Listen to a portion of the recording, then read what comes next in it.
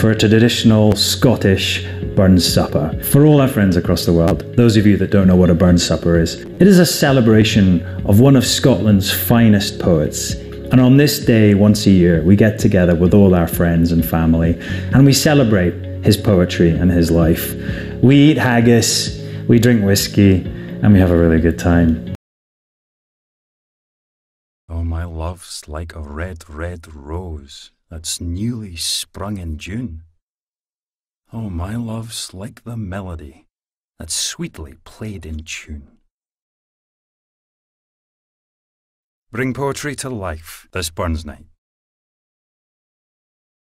Aye, fond kiss, and then we sever. Aye, farewell, alas, for ever. Bring poetry to life this Burns night.